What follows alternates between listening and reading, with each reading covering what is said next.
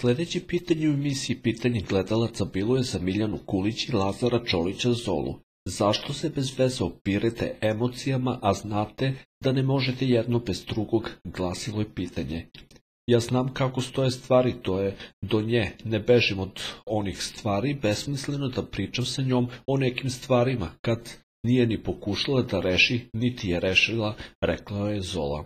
Meni smeta da bih otvorenije pričao sa njom da bih mogao nju da zaštitim da ne dobija epitete da je ovakva i onakva, prvenstveno zbog nje same i mislim da ona treba da razmisli o svemu, dodao je Čolić.